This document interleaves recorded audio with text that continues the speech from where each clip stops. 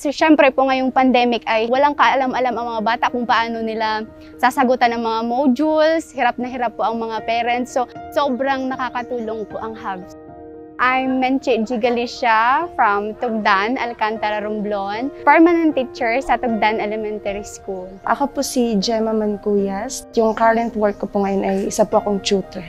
Nung nagbigay si VP Lenny ng project, nagbayanihan po ang mga parents namin. Sila po yan ang nagpintura o nag-ayos ng bubong.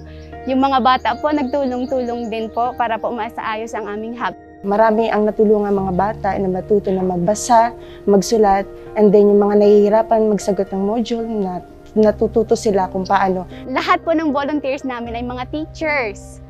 Kaya nagpapasalamat ang mga parents namin dahil totok na totok po yung tutor teachers namin sa kanilang mga bata. Maganda po yung ano, inano ni Ma'am Lini kasi para rin po yun sa mga kabataan at para sa amin rin ng mga magulang kasi hindi nga sila nakakapasok sa school. Ah, maganda kasi si Ma'am Lenny kasi bilang parang parang isang sang nanay na naintindihan niya kasi yung mga sitwasyon dito sa amin, amin sa kapaligiran at saka sa atin sa buong Pilipinas. Kasi si Ma'am Lini may isang salita po siya at talagang ginagawa niya yung, yung mga sinasabi niyang mga programa. Sobrang thank you po sa project. Yung mga parents po, nagpapasalamat po sila ng madami. Kung mga hindi pa po nakakilala kay VP Lenny, siya po yung may mabuting puso at handang tumulong sa kapwa niya sa abot ng kanyang makakaya.